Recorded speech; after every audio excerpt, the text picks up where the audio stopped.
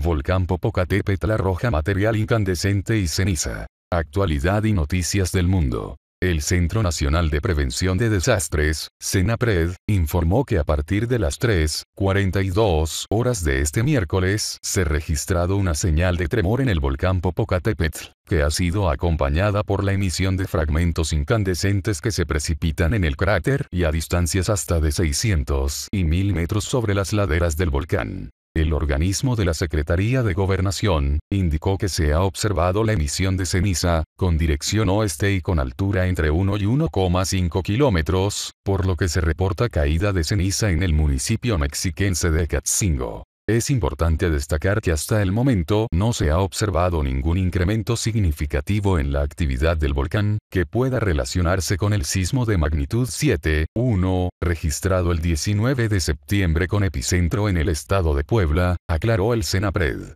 El monitoreo del volcán Popocatépetl se realiza de forma continua las 24 horas. Cualquier cambio en la actividad será reportado oportunamente. El Senapred exhorta a la población a no acercarse al volcán y sobre todo al cráter, por el peligro que implica la caída de fragmentos balísticos.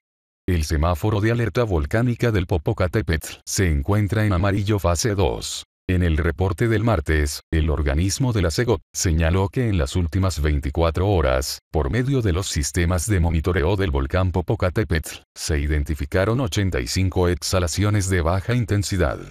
También, se registraron dos sismos volcanotectónicos, el día de ayer a las 22.20 horas con magnitud 1,4, y el martes a la 1.19 horas con magnitud de 1,8. De acuerdo con el Senapred, los escenarios previstos para esta fase son que continúe la actividad explosiva de escala baja intermedia.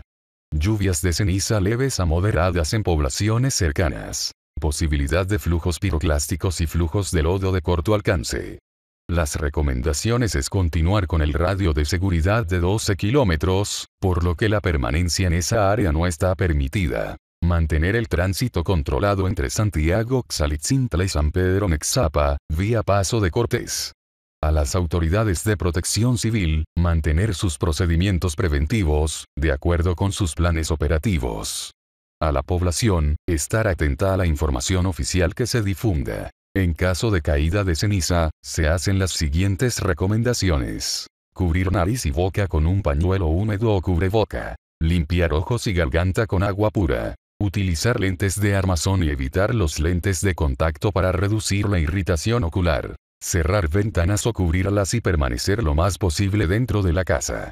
Por su parte, el coordinador de protección civil de la Secretaría de Gobernación, Luis Felipe Puente, anunció que el coloso había emitido explosiones y que la actividad se contempla en el semáforo de alerta volcánica, amarillo fase 2. Actualidad y noticias del mundo.